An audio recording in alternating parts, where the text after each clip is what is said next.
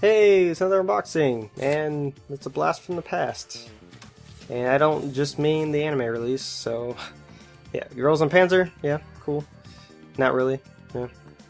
Um, yeah, receipt, yeah. So today we have Tenchi Muyo, the OVA, specifically first and second OVA. First OVA was back in 1992, while the second one was made in 1994. Yep. And they're both animated by AIC Studios. Yeah, this was uh, it aired back in the day on Toonami when Toonami was every day of the school week, not weekends, like it is now. Yeah. So today, what, today? Whatever. 13 episodes on three DVDs and two D- Blu-rays. I can't speak. Four by three ratio, audio Japanese and English with English subtitles. Yeah, cool. So yeah, this was like my first um, harem series, I guess. That, that, that is what it is. Whatever.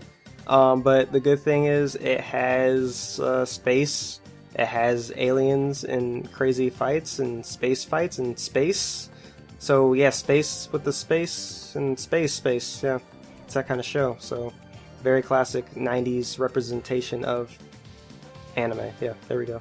Uh, that's the uh, episode guide, by the way, with that picture, by the way. Which yeah. And so extras, we have episode 13 Omake and trailers. Yay! Check them out all those all those commentaries, right?